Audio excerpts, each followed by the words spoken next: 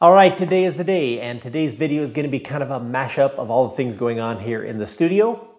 Um, first off, I just wanted to say thank you to all of you who follow the channel. We just hit um, what they call monetization on YouTube, meaning that I can run ads. I don't know if I'm going to be doing that, but I do have the opportunity now not just to be able to run ads, but also to do live streaming and use the community thing where you can do surveys and other things, but other ways to connect with you, the followers of the channel. So that's kind of exciting. Um, just like a week ago, we hit the thousand subscribers that is needed for that, and already we're surpassed that onto about 1,400, going on to 1,500 by the time this video is aired. And um, about 4,000 hours of watch time this year, which also helped qualify us. So thank you for watching the channel. That's always nice to have people out there. Interesting to think now, instead of talking to the camera, I'm actually talking to a crowd of 1,500 people. Well, in effect, usually the videos are now hitting about a thousand views each video. That's also nice to know that somebody is watching what you're spending your efforts on. So again, thank you very much. Um, this also kind of makes a turning point in what I'm doing here in the shop with the Arete Supercar project and you're going to be seeing very soon that I'm adding a second project coming up. And that will also be another automotive project, but going to be very, very different than the Arete Supercar. So be watching for that. Beyond just the things that you see with the Arete project and this other project coming up, you also, I will be showing you a couple of the projects I have in building some machinery to help me accomplish the aforementioned projects. You may have seen in some previous videos, I showed that I'm building this little small five axis CNC machine. It's gonna be more of a, like an engraving machine. Um, that's kind of been pushed a little bit to the back burner as I work on a 3D printer. I got rid of the 3D printer that I had before to move on to this thing that's gonna be a little more precise. Um, about the same build area, but also another larger format 3D printer. And another thing, I had a friend turn me on to a abandoned printer that was sitting in a scrapyard. Was able to pick up at a very good price, and we will be refurbishing that machine to be a little bit larger five-axis foam cutting CNC machine. That way I can use all of these machines to help scoot these little projects along and be a little more accurate in some of the fabrication of parts with those machines. Instead of just this being a total talking head video, I wanted to make sure I threw in a little bit of a project today. So we're gonna go take a look at how I built a little bracket to move the coils out of the center between the valve covers, moved a little bit over to the side of the engine to keep them a little cooler area, and make things a little more convenient, get the deck lid down so I have a little bit of clearance above the engine. Anyway, let's go take a look at that. So what I'm doing is building a little bracket to shift these coils, like I said, to the side of the engine. And to do that, it's made up of just a couple of pieces of uh, quarter inch aluminum plate welded together to create a couple of legs going up to support a plate. Now, plate's a little bit wider than is probably needed to hold the coils, but it's going to act a little bit as a heat shield as well. And these little legs bolt into the side of the block. There are a couple of uh, holes there that were actually left over when uh, Toyota they put little hooks. You can see one on the far side of the engine there, left there. These little hooks probably used to uh, put the engines into the car when they're assembled. Toyota probably figured it was cheaper to leave those hooks on there than the time and labor to take them off and uh, get those hooks back to the next uh, block of engines. So without the hooks needed to raise and lower this engine, just take the hook off and use those bolt holes to put the little legs on. Now I'm just going to fit them there on the engine and then come back here, take my marks, put the legs in place, and of course uh, TIG weld them into position.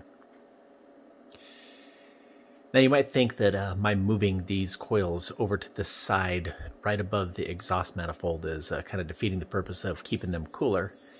But being out in the open is a place to keep them cooler because there will be, unsurprisingly, there's a lot of air movement in the engine compartment. And this will allow some air movement across them, whereas them being captured and saturated in heat inside, covered over between the two valve covers is what I'm trying to get after. So once I got that thing all welded together, took it in, powder coated it, and you can see here going back into those uh, mounting holes in the side of the block. This plate has a couple little notches on the side that'll also be little retainers for the wiring. The wiring harness will come up underneath it, go through those little notches, and plug into the coils.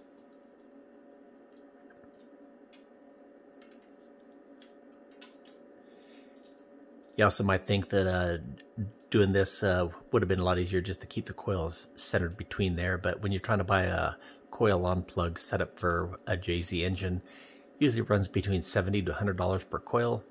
Um, these LS coils, um, closer to $20 when you make uh, thousands of a part, you get the price down, whereas a coil on plug setup, a little less common, a little more expensive. All right, there you go. We have those coils moved over to the side in a little more convenient position for me to work on. And like I said, lower that deck lid. Um, again, in closing, I just wanted to thank you for watching the channel. I also wanted to talk about a few viewers that have been watching the channel. Now, I should be mentioning all of you because I know you're all very important. But there have been a couple people that have been really dedicated to the channel and comment quite a bit, watch, go through and have watched the entire series. One of those being Trent Hill, way from the very beginning. Trent has been watching the channel and has um, commented almost on every single video. Um, I don't think he needs to do that every time, but it is nice to have somebody so dedicated. Also, there is Direct. I don't know if I'm pronouncing that right. Direct is from India. He is an engineering student and he has also been very dedicated recently in watching all the videos and commenting quite a bit. It's nice to uh, talk with people in other places and understand what they're doing in their lives and how it's different from us here in the United States.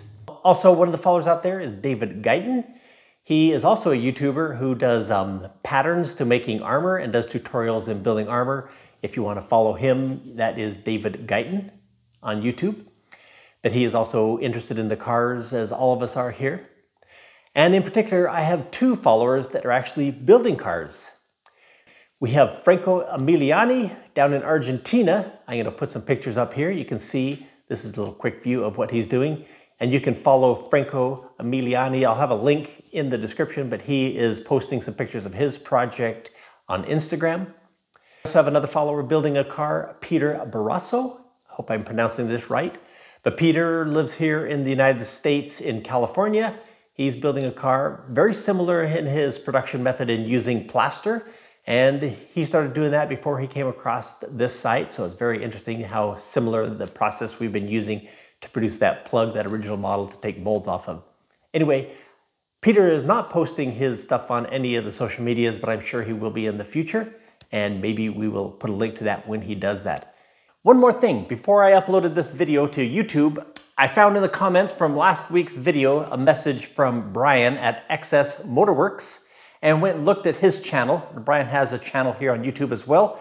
And he is building a couple of uh, supercars, building two cars that are going to look the same, but one's going to be electric powered and the other one gas powered. And anyway, in his project, he has done something that is uh, noteworthy and goes right along with last week's video when we were talking about ways you could simplify a project like this. And what he has done is he has replaced this section of his cars with a Honda Civic meaning that he's taken the A-pillars, the windshield frame, and the doors. Anyway, this assembly here, all that work that I'm gonna have to be going through in creating all these undercuts and trim for weather seals and stripping and the window fitment, all that stuff, that has been taken care of by using that whole idea. Anyway, brilliant method to take away a lot of the work that we talked about in the last video. So if you wanna go see what I'm talking about, you can go down the description. That'll get you the right spelling to get to Brian's channel, which is NXS, not NXS, just XS Motorwork. Anyway, just a little addition here as we're closing up this video, but thank you for stopping by. Come back, see us again.